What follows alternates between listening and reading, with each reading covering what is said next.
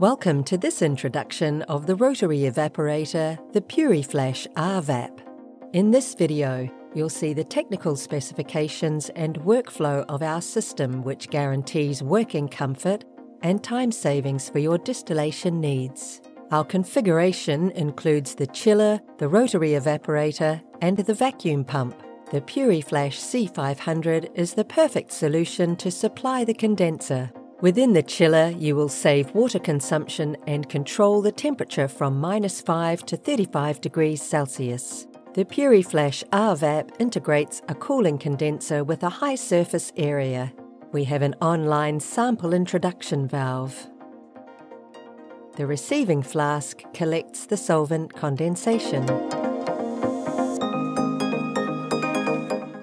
A wide range of glassware is available with a capacity of 50 ml to 3 litres. The vacuum pump suction is above the condenser. The cooling liquid flow supplied by the chiller goes through the vertical condenser. The rotation speed is set by a manual knob from 20 to 300 RPM with a clockwise and counterclockwise rotation mode.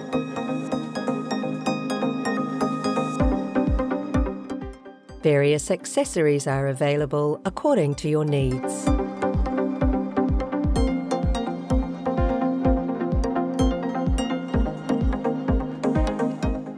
We have a manual adjustment of the head tilt angle.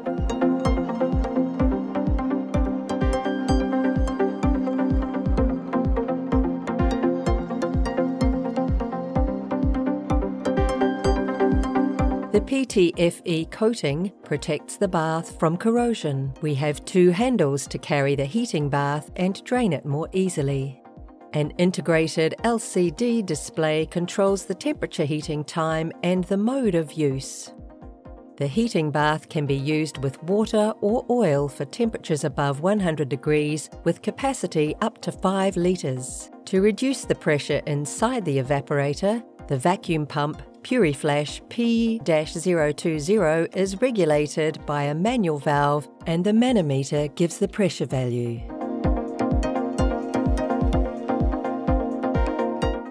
Let's get to the sample drying. In combination with our flash chromatography systems like the PuriFlash XS 520 Plus, the PuriFlash RVAP enables you to dry and concentrate your collection tubes.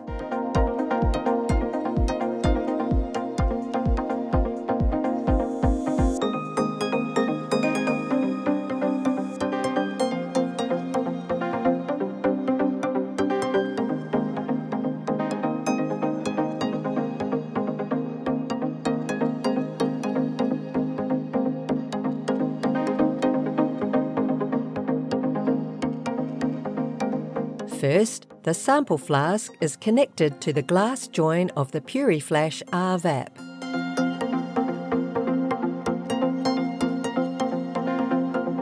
The flask position is done with the manual lift handle. The heating bath is regulated at 40 degrees and the rotation speed is set at 100 RPM.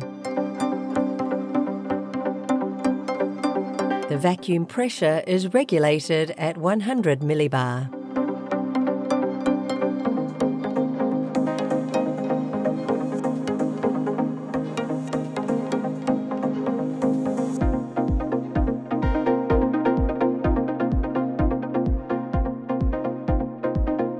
During the evaporation, the solvent vapours go through the condensation area of the vertical condenser cooled by the chiller.